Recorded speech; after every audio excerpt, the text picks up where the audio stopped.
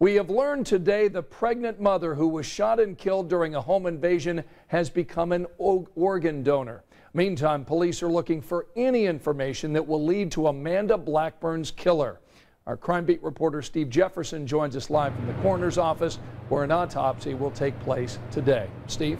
Yeah, uh, Scott, we just learned that the autopsy is underway right now here at the coroner's office. In many cases uh, like this one, detectives themselves will show up for the autopsy so they can have access to immediate information from the autopsy so they can share that with other detectives working on the case. Amanda Blackburn's family shared a number of photographs with Eyewitness News showing her with her husband and in some of the photographs their toddler.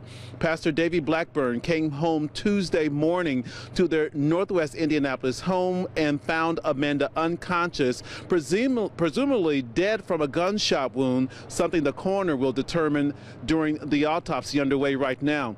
The reported burglary turned murder rocked their neighborhood, and their neighbors met Wednesday night with Metro police officers to talk about being safe as police continue to look for Amanda's killer. It's our responsibility to protect our neighborhood and where we live. And, and it's not only our responsibility, but it's everybody's responsibility in the city of Indianapolis and, and anywhere really because we owe it to ourselves and it's, it's, it's on us to, to create a safe place to, to live. If you're following us on Twitter, you may have seen earlier today where I tweeted that the 10 Point Coalition and local clergy, they're working on having a vigil this coming Sunday to support Pastor Davey Blackburn and his family. They want to invite everyone out to that vigil uh, and also to talk about uh, addressing this type of crime. Meantime, police, they still urge anyone with information about Amanda Blackburn's murder to call Crime Stoppers. You can do so anonymously. That telephone number is 262 TIPS.